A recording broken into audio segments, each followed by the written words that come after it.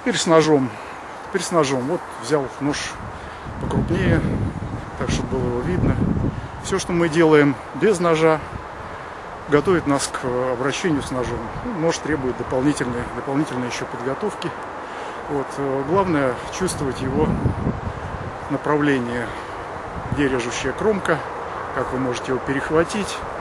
Ну, в общем-то, для целей таких э, не очень изощренных, когда вы сталкиваетесь не с мастером ножевого боя, никакие перехваты не нужны.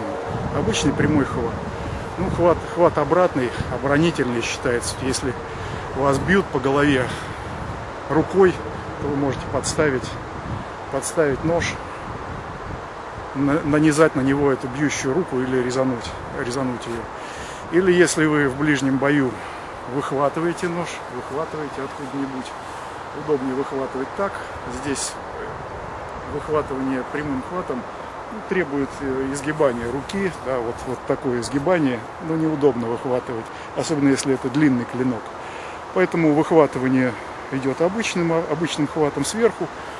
Мы выхватываем, и вот мы уже готовы к удару в ближнем бою. Поэтому если вот противника мы остановили, отодвинули в стороночку, спрятали этот э, нож, который у нас там где-то за поясом, спрятали от него, вынули, и вот здесь уже можно его разрезать как, как угодно, любую часть тела. Да? Обратным движением, прямым движением. Ну, в принципе, достаточно будет и обычного движения, чтобы противнику нанести не- неприемлемый ущерб. Ну, хотя бы даже по рукам просто его резануть. Вот мы его остановили, вынули нож и резанули. да. При этом нам не нужны никакие вот такие длинные движения, которые показывают, вот как с мечом мы работаем, показывают, откуда идет удар. Ну, меч длинный, от него убежать тяжело, а от ножа можно даже отклоном уйти, поскольку все-таки клинок довольно короткий. Если мы готовимся к освоению боевых искусств, то мы бьем кулаком, да, обычный удар кулаком. Ну, тоже, тот же самый обычный удар ножом, обычный удар ножом, обычный удар ножом. Вот. И если мы можем бить задней рукой, то есть отталкиваясь, нанося мощный удар, точно так же можем ударить и передний, передний удар.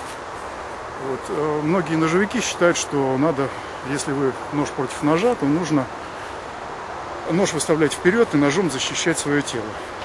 Но э, в этом есть недостаток. э, Вы с вытянутой руки, особенно когда вы оборонительную дистанцию, у вас все движения достаточно слабые относительно слабый. Можно, конечно, посильнее резануть, но чем сильнее вы резанете, тем дальше уйдет нож, и тем дольше вы останетесь незащищенным тем же самым ножом. Вы промахнулись и получили нож в любое, в любое место. Вот, поэтому, на мой взгляд, хотя это и не абсолютная истина, э, лучше позицию занимать защиты ножа. Э, Руку можно отдать, она может быть поранена даже противником ну, ваш прямой удар пробьет ему грудину или, или меж ребер пройдет, ну тогда нож тоже надо понимать, что если вы бьете где-то немножко сбоку, то нож нужно развернуть. Вот, и тогда он пройдет между ребер или пойдет в горло. Обычное дело, если вы отбиваете голой рукой нож, да, вы ее травмируете, но вы отбили нож, а ваш удар пройдется прямо по горлу противника. Поэтому да, если он, скажем, мы отбили, он хочет подключить свою руку тоже, чтобы отразить, ну и режем с другой стороны. Вот. Или просто пробиваем. Никакая, никакой возможности уйти от, э, от мощного удара, который еще прорезает себе путь вперед, ну, просто нет. Ну, разве что подставить руку и нож, пробив эту руку, затормозит в ней. Вот, поэтому, э, если речь идет о смертельной схватке, а не игре в ножички, когда, знаете, вот так вот, давайте мы поиграемся, то тогда удар должен быть убойный и один. С риском получить тоже такой же удар. Ну, без риска никакие боевые искусства просто существовать не могут. Поэтому стандартная процедура. Вас атакуют, например, отошли, заблокировали, пробили. да. Или вас атакуют, вы немножко упреждаете и идете вперед. Вас бьют в корпус, в сторону и пробили. В сторону пробили. То есть разные уходы назад, на заднюю ногу оперлись, вперед тут же атаковали. В бок отошли с линии атаки, атаковали. Сбили руку, атаковали. Вот все, все эти движения, в принципе, должны заканчиваться или тяжелой травмой, или гибелью противника. Но если мы гуманисты, то мы отбили руку, по этой руке рубанули. Раз, два, да? Вот это бьет нас по этой руке. Ушли, рубанули. Вот, ну, это если мы чувствуем свое явное превосходство, если противник всего один, а не несколько, если он достаточно робок, если у него ножичек не такого размера, перочинный, он там хочет нанести какой-то какое-то пустяковое повреждение, вот, тогда, тогда так. Ну, а если вы без ножа, то лучший способ провести бой это э, его не начинать. То есть просто уйти, просто уйти, но наблюдая за противником, который в любой момент может броситься вперед. И когда вы вступаете в противостояние на улице, вы, скажем, уложили противника и довольны идете от него по улице. Он вынимает нож и протыкает вам спину. И вас отвозят в морг, его в суд, но вас это уже не может порадовать, как и ваших друзей и родственников. Поэтому в любых бытовых ситуациях надо быть бдительным и надо смотреть. Противник, который валяется на спине, еще не значит, что он окончательно повержен. Если вы рассчитываете на благородство, то благородство, видимо, это из каких-то других времен. Некоторые люди благородные, некоторые трусливые, а некоторые подлый и коварный. Поэтому удар ножом в спину весьма вероятен, если вы эту спину подставили. Значит, уходить надо от любого противника, даже поверженного, спокойно и будучи готовым всегда к отражению его новой атаки.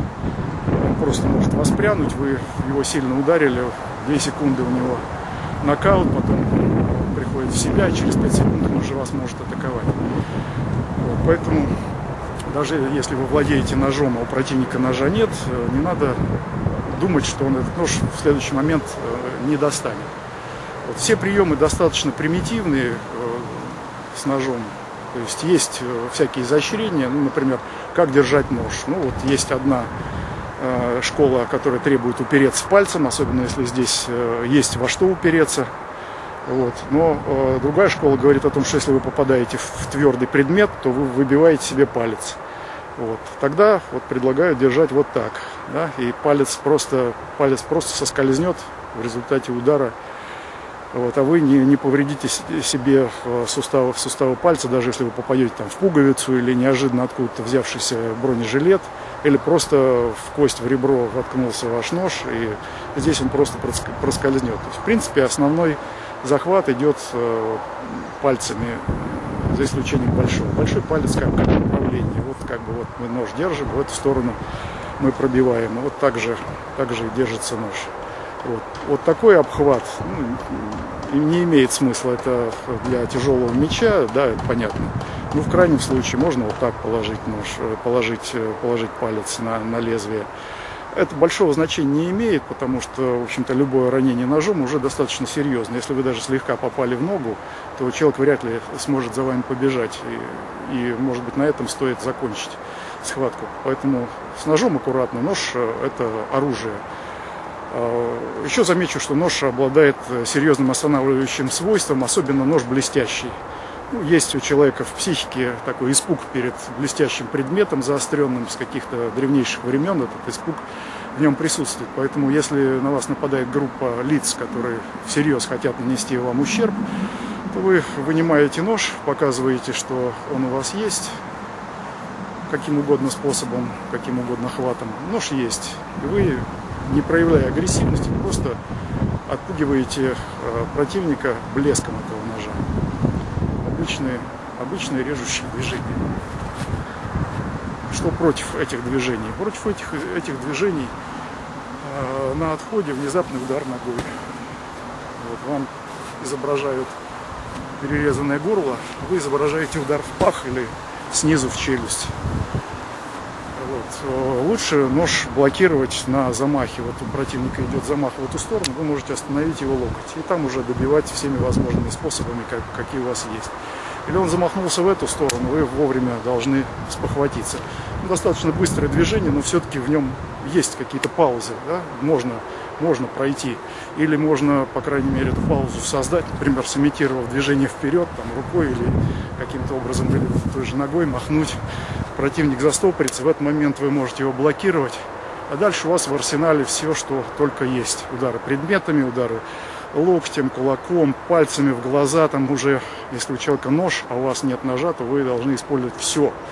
Вплоть до того, что вы не должны беречь там свои какие-то э, суставы или там пальцы. Если палец сломается в глазу у противника, то ничего страшного, вы все равно его оттуда вынете, но э, противник уже будет э, не способен вас атаковать. Поэтому для боевых искусств важно владеть арсеналом, который у вас будет без ножа. Да? Вы не всегда ходите с ножом. Да? В театр вы не пойдете с ножом. А, и часто вы оказываетесь без оружия, да? и в этот момент на вас могут напасть с оружием. Поэтому вы должны э, владеть тем арсеналом, который может защитить и вас, и окружающих вас людей. Вот, э, далеко не всегда нож э, в этом случае оказывается под рукой. Ну, если оказывается, то первое это демонстрация ножа. И только в крайне опасных случаях, когда уже неизбежно столкновение, и столкновение жестокое, когда противник э, заявил уже свои намерения. И остановив противника, вы отсюда наносите вот этот неожиданный удар, который прекращает его агрессию, а может быть прекращает и жизнь, а спасает вашу жизнь. Первое, надо учиться боевым искусствам без оружия, потом в те же самые приемы, в те же самые навыки вы вкладываете оружие, любое. Можете вложить нож, можете вложить э, лом, можете вложить лопату, все что угодно, на самом деле любой предмет, ножка от стула или сам стул в конце концов. Все это будет вашим оружием, если вы получите стандартные навыки действий без оружия. Движение ногами, движение корпуса, уклоны, подставки и так далее. Вот на эти, на эти базовые умения накладывается то, что вы сможете, то, что вы можете использовать, применяя различные предметы, которые на тот момент, когда вы их используете против э, агрессивного противника, превращаются, превращаются в оружие.